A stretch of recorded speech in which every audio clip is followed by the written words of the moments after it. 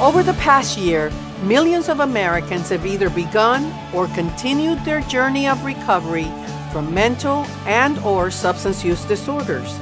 For many, an important part of this journey is making their voices heard and sharing their stories.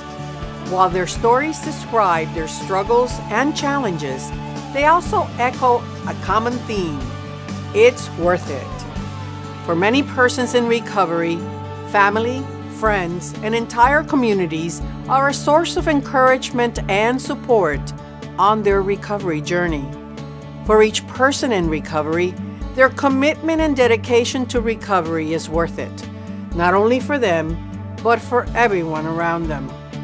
This is what National Recovery Month is about celebrating persons in recovery from mental and substance use disorders and extending the benefits of recovery by spreading the message that prevention works, treatment is effective, and people recover.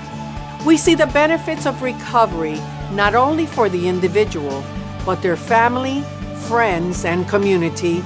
Through recovery, everyone benefits because it's worth it.